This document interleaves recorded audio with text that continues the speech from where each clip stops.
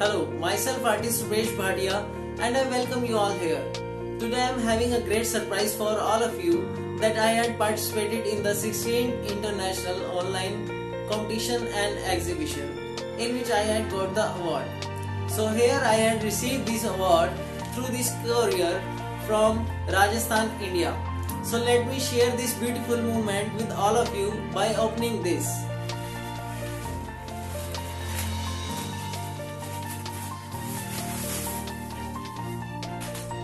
Wow, it's so beautiful award and I want to tell you that I had awarded with the Bharat Kokila Award, first award in the sketching. Thank you so much.